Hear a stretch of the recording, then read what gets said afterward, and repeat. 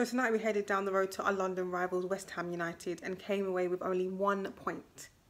This is the same West Ham United that are fighting a relegation battle. But credit to them.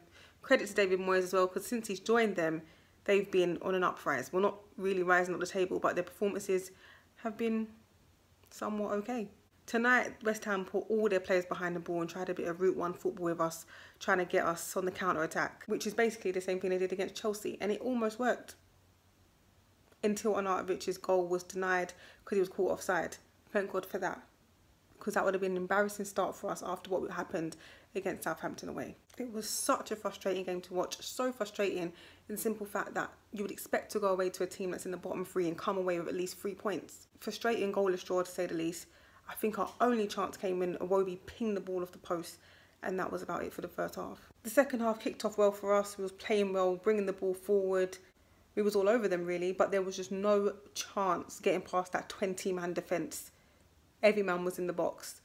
Well, Giroud got a header, but it deflected wide. Even Ozil had a shot that shot wide, but there was just no getting past that defence. I will say though, Maitland Niles, what a debut for him in the Premier League because his crosses were probably the only thing that gave us a chance to get Giroud on the end of the ball during that game. I mean, our biggest chance in the second half came when Jack Wilshere found the ball in the box, but he shot it way over the crossbar. I mean, I think the only problem was he didn't take his time. There was a lot of two-touch football going on during that moment of time in the game, and it was so fast-paced that he just did not relax and take his time with that. And that would have been game set done if that found the back of the net, but it didn't.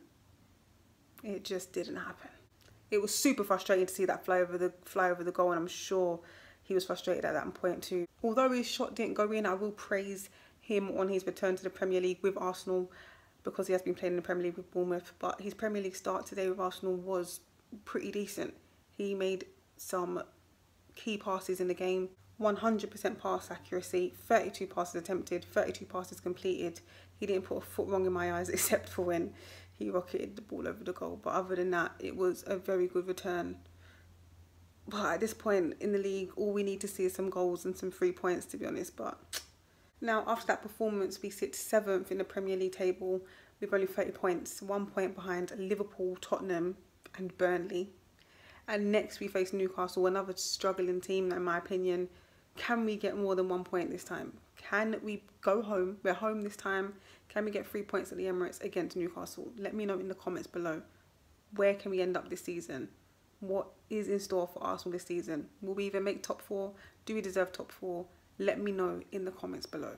And I will see you on Saturday at Arsenal versus Newcastle. I will be there, so hit me up and I'll come meet some of you. Peace.